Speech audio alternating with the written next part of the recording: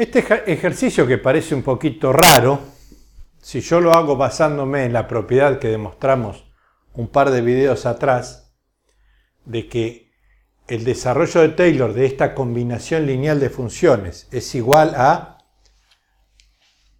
la combinación lineal de los desarrollos de cada una de ellas, porque el polinomio P sub n es el desarrollo en serie de Taylor de orden n de f de x, y q de x es el desarrollo en serie de Taylor de g de x, alrededor del origen o podría ser de otro punto, mientras todo esté alrededor del mismo punto, del mismo x0, yo lo puedo hacer.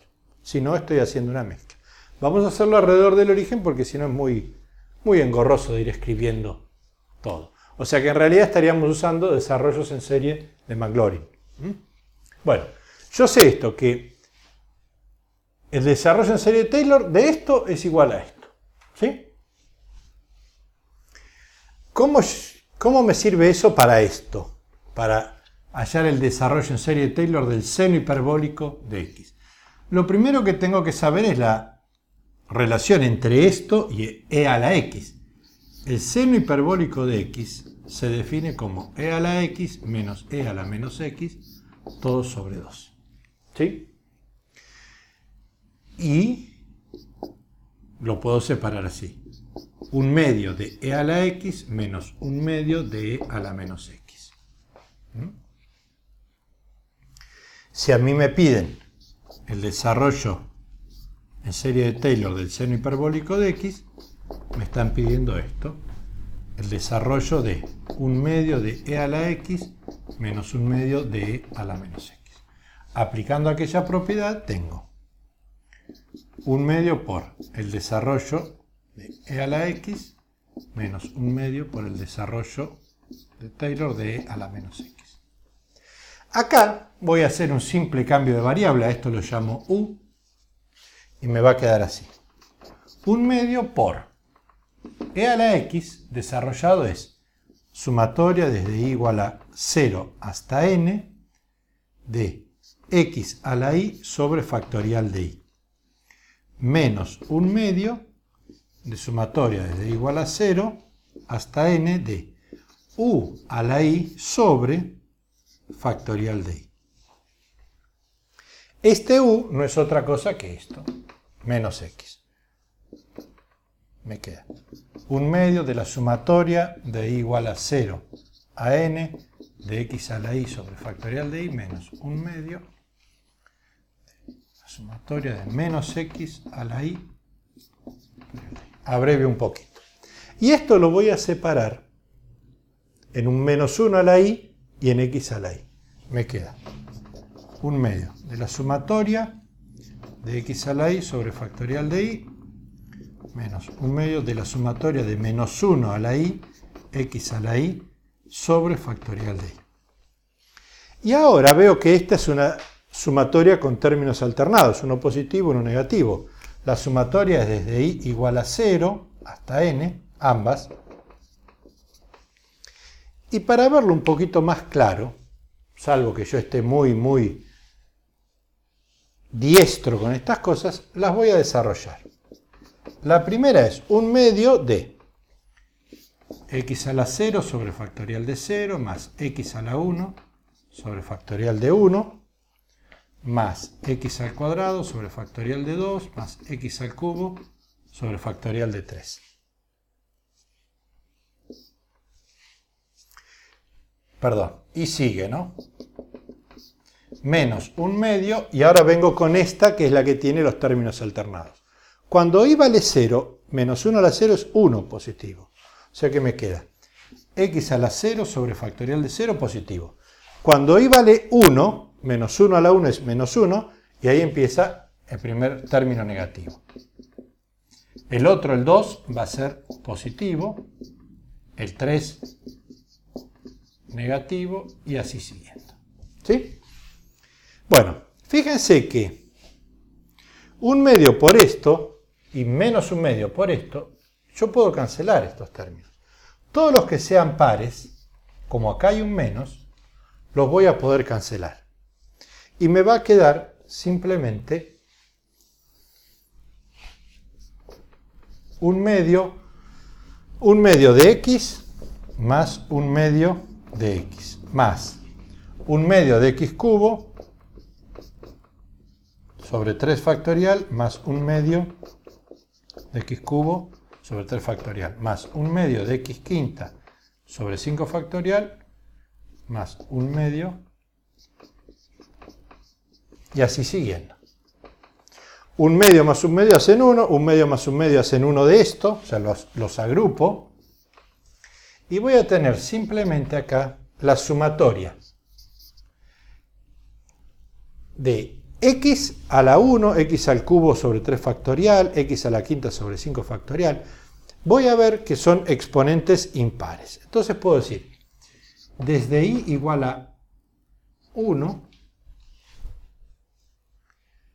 hasta n, ah, ah, ahí tenemos una historia, ¿eh? ahora la vamos a discutir, de x a la 2i menos 1, cuando i vale 1, 2 por 1, 2, menos 1, 1, es el primer término, sobre 2i menos 1 factorial. Este sería el desarrollo, que no está mal, pero en realidad este no sería el desarrollo de orden n de esto. ¿eh? Ojo, si este n vale 5 y este n vale 5, tal cual yo lo planteé acá, voy a llegar al orden 2 por 5, 10 menos 1, al orden 9. Es un error un poquito sutil, pero te puede costar el ejercicio.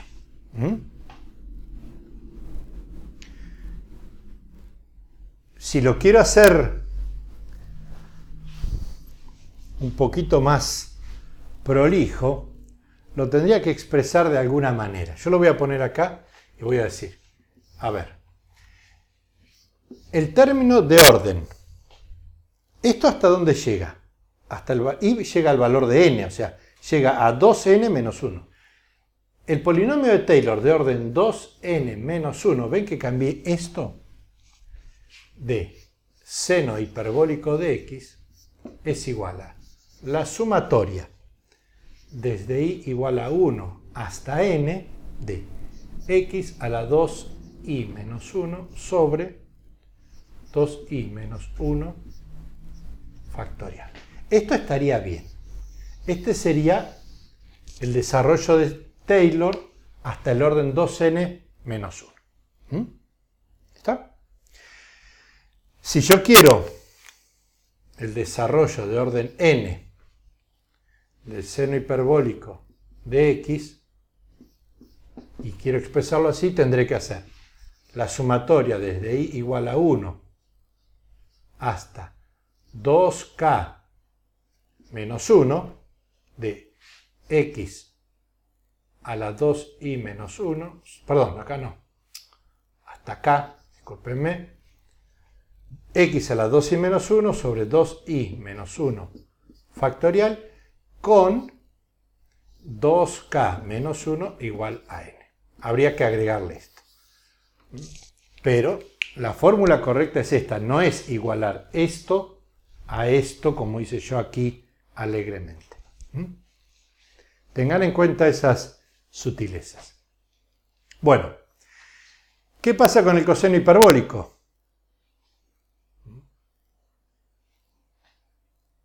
Una, sí, una aclaración más. Si yo hago esto, me queda acá una sumatoria de todos términos impares, pero son todos positivos, no son alternados. Esto era alternado cuando era el seno, no el seno hiperbólico. Era uno positivo, uno negativo, uno positivo, uno negativo. Bueno, y con el coseno hiperbólico, ¿qué hago? Un desarrollo similar. Solo que tengo que saber que el coseno hiperbólico de x es e a la x más e a la menos x sobre 2. Entonces, voy a escribirlo así.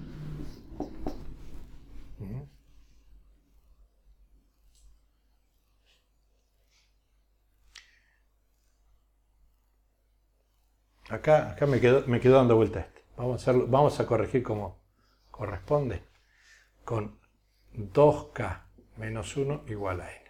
¿Sí? Si no se va a prestar a confusión.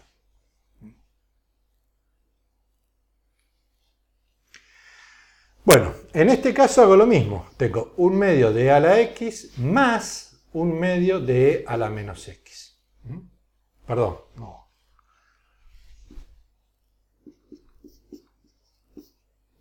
Ahí está. O sea que es un medio del desarrollo de a la x más un medio del desarrollo de e a la menos x. Basándome en aquello, tengo un medio de, voy a abreviarlo un poquito, esto, x a la 0 más x a la 1 sobre factorial de 1, más x al cuadrado sobre factorial de 2,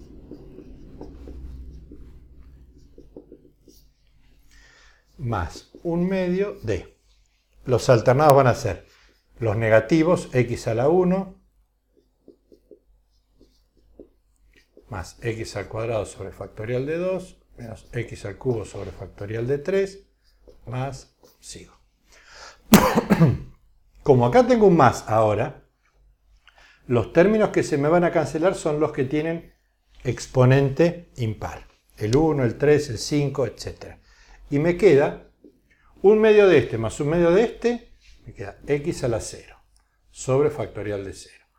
Un medio de esto de x al cuadrado sobre factorial de 2 más un medio de esto, x al cuadrado sobre 2 factorial más x a la cuarta sobre 4 factorial más sobre 6 factorial. ¿Mm? De vuelta, sería la sumatoria desde i igual a 0 hasta k de x a la 2i sobre 2i factorial. Solamente términos pares. Esto sería con k igual a, perdón, con 2k igual a n. ¿Sí? Para hacerlo igual a este.